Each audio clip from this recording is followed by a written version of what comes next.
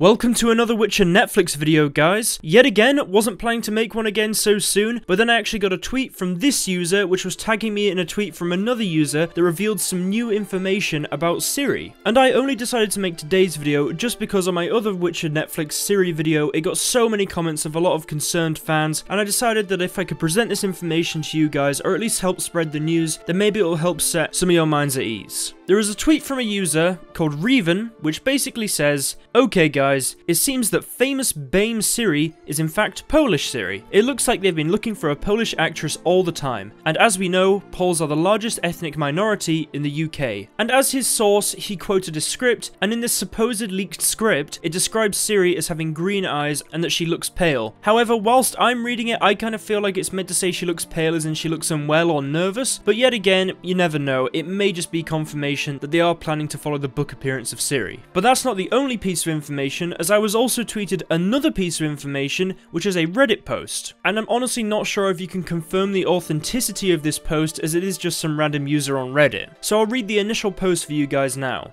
My Polish friend just got a casting call for Ciri and she will be interviewed on Thursday. She got this as a script to prepare, blasted it all on her social media, lol. She's white, her English is very Polish, and she is 17 years old. So potentially, Ciri's appearance might actually be true to the books. Now, I want to just say to all of you guys that don't take these two new pieces of information as pure fact. It's still entirely possible that Ciri may look different to how she's described in the books. But honestly, I feel like this is a good sign that they may be sticking to the source material, and perhaps all this information about Ciri was simply to try and generate publicity, but at this moment, I still don't know, just based on how the writer was on Twitter and how she didn't deny or confirm anything, and it kind of has still got me a little bit confused. Honestly, right now, it's still all up in the air, but I thought thought I should present this information to you guys, just because I know things have been a bit hectic recently, and I thought this news would be really useful for you guys to hear. Anyway guys, that's it in today's video, just a little short one, just thought I'd tell you the information, just so you guys know. I hope you've enjoyed today's video. If you did, I appreciate if you like the video, it really does help out. If you're new to the channel, subscribe. I do Netflix, Witcher stuff, whenever anything important, or something that I just feel like you need to hear comes out, and I post Witcher lore videos every few days. In fact,